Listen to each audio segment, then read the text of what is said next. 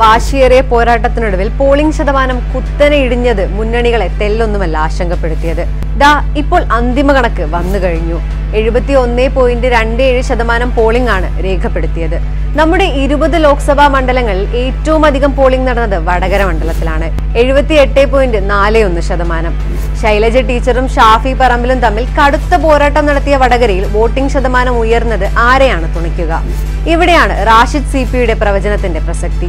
വോട്ടെടുപ്പ് കഴിഞ്ഞ ഉടൻ റാഷിദ് പ്രവചിച്ചത് വടകരയിൽ ഷാഫി പറമ്പിൽ എൺപത്തി എണ്ണായിരത്തി അഞ്ഞൂറ് മുതൽ ഒരു ലക്ഷത്തി പതിനാലായിരം വരെ ഭൂരിപക്ഷത്തിൽ വിജയിക്കുമെന്നാണ് യുവ എം എൽ എക്ക് അഭിനന്ദനങ്ങളും ചൊരിയുന്നുണ്ട് പോസ്റ്റിൽ. ശൈലജ ടീച്ചർക്ക് പാർട്ടി വോട്ടിനപ്പുറം വോട്ടൊന്നും കിട്ടില്ലെന്നാണ് റാഷിദിന്റെ വിലയിരുത്തൽ. ഇതിനു മുൻപ് റാഷിദ് നടത്തിയ പ്രവചനങ്ങളൊക്കെ അച്ചട്ടായിരുന്നു എന്നതും ഇതിനോടൊപ്പം ചേർത്ത് വായിക്കണം. ശൈലജയുടെ ടീച്ചർ അമ്മ ഇമേജ് പോലും പാർട്ടി സർക്കിളിനപ്പുറം ഏശിയിട്ടില്ല. കഴിഞ്ഞ നിയമസഭാ തെരഞ്ഞെടുപ്പിലെ മട്ടന്നൂരിലെ വിജയത്തിന് ശേഷം ശൈലജ ടീച്ചറുടെ പൊളിറ്റിക്കൽ ഗ്രാഫിൽ വലിയ വേരിയേഷൻ ഉണ്ടെന്നാണ് റാഷിദ് വിലയിരുത്തുന്നത്. ഷാഫി ആണെങ്കിൽ കൃത്യമായ വൈബ് ഉണ്ടാക്കിയെന്നും ന്യൂട്രലായുള്ള നിരീക്ഷണമാണ് ഇതെന്നും റാഷിദ് പറയുന്നു. റാഷിദിന്റെ ലോക്സഭാ പ്രവചനം നോക്കാം. ഡി എഫ് നാൽപ്പത്തെട്ട് പോയിന്റ് അഞ്ച് ശതമാനം മുതൽ അമ്പത്തി മൂന്ന് പോയിന്റ് അഞ്ച് ശതമാനം വരെ എൽ ഡി എഫ് നാൽപ്പത് പോയിന്റ് അഞ്ച് മുതൽ നാൽപ്പത്തിനാല് ശതമാനം വരെ ബി ജെ പി ആറ് മുതൽ ഒമ്പത് പോയിന്റ് അഞ്ച് ശതമാനം വരെ.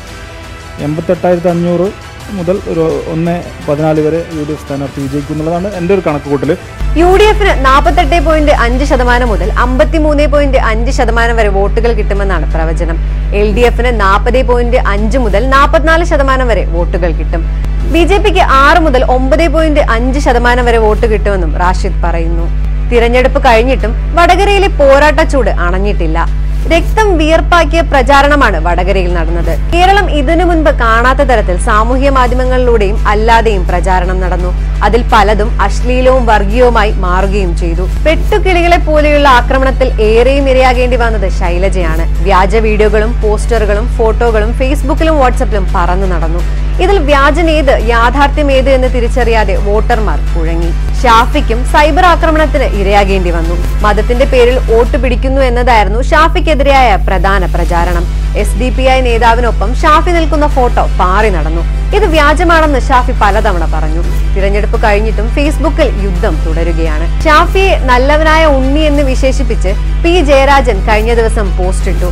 വർഗീയ ടീച്ചറമ്മ എന്ന് വിളിച്ചാണ് രാഹുൽ മാങ്കൂട്ടത്തിൽ ഇതിനെതിരെ പ്രതികരിച്ചത്. തിരഞ്ഞെടുപ്പ് കഴിഞ്ഞിട്ടും സൈബർ ലോകത്തെ ഈ മാലപ്പടക്കം പൊട്ടിക്കൊണ്ടിരിക്കുകയാണ്.